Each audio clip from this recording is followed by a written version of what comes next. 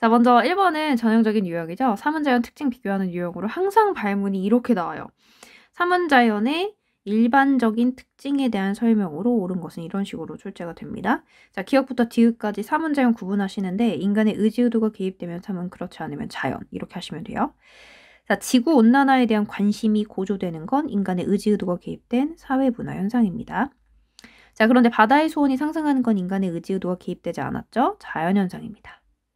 자, 성층권의 바닷물을 분사하는 실험을 진행하는 건 인간의 의지의도 개입됐으니까 사회문화 현상 이렇게 보시면 돼요. 1번. 사회문화 현상은 개연성으로 설명된다. 그대로 정답이고요. 2번. 자연현상은 가치함축이 아니라 몰가치적이죠. 3번 사회문화 현상은 확실성이 아니라 확률성으로 설명이 되고요. 4번 기억과 같은 현상은 니은과 같은 현상과 달리 인과관계가 명확한 건 자연현상이기 때문에 반대로 서술했습니다.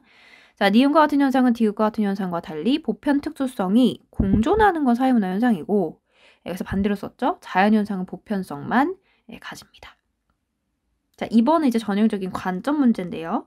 여러분들이 이렇게 발문해서 사회문화 현상을 바라보는 관점 이렇게 하면 기가일상 떠올리고 문제 푸시면 돼요. 자, 집단 간의 갈등은 사회 전체의 일시적 불균형과 혼란을 초래하지만 사회는 이를 극복하여 균형 질서를 스스로 회복할 수 있는 힘을 가지고 있다. 자, 사회는 가만 놔둬도 다른 기능의 조정작용을 통해서 균형으로 돌아가는 힘이 있다 라는 것은 기능론이고 집단 간 갈등이나 문제를 일시적인 특히 병리 현상으로 보는 건 전형적인 기능론이죠. 자, 1번 인간의 능동성을 강조하는 건 상징적 상호작용론입니다. 2번 사회 안정보다 변동을 중시하는 건 갈등론이고요. 3번 사회각 부분 간의 그렇죠. 상호 의존성은 기능론의 키워드 정답 3번이고요. 집단 간 갈등이 필연적이고 불가피하다라는 건 갈등론입니다.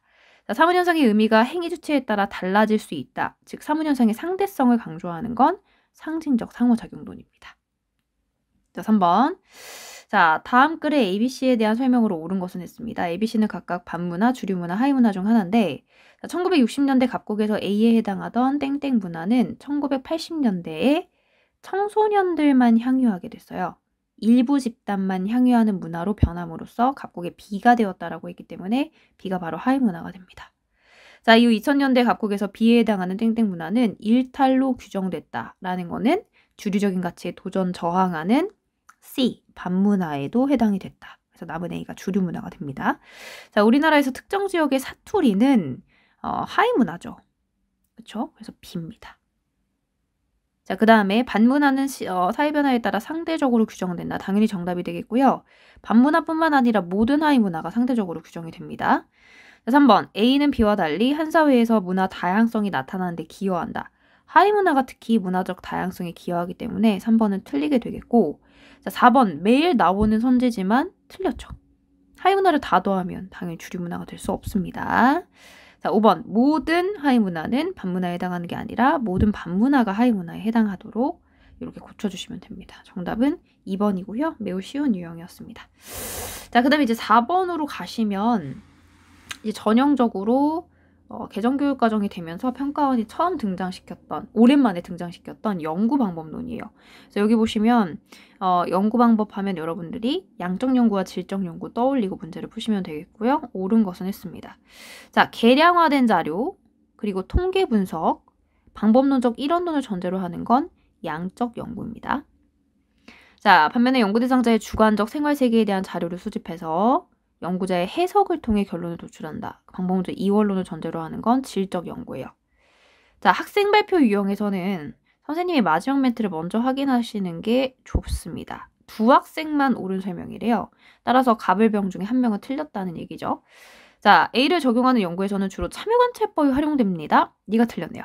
양적 연구에서는 질문지법 또는 실험법이 주로 활용되지 참여관찰법은 질적 연구에서 주로 활용되는 겁니다. 자, 따라서 남은 을과 병이 옳은 멘트를 했다라는 걸 알 수가 있겠고 가에는 따라서 옳은 내용이 들어가야 되겠죠. 자, 1번.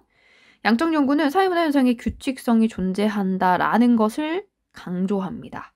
2번. 질적 연구는 연구자의 그렇죠. 직관적 통찰 혹은 감정이입적 이해를 통한 자료 수집을 중시하죠. 자, 3번. A는 B와 달리 사문현상에 대한 심층적인 이해. 심층적인 이해는 특히 질적 연구가 목적으로 하는 바기 때문에 3번은 X가 되겠고요. 4번 B는 A와 달리 비공식적 자료의 수집을 배제? 아니죠. 질적 연구는 비공식적 자료를 매우 중시합니다. 5번 소득과 행복 간의 이런 변수 간의 상관관계를 파악하려는 연구는 양적 연구죠. 그래서 A, B를 바꿔주셔야 되겠습니다.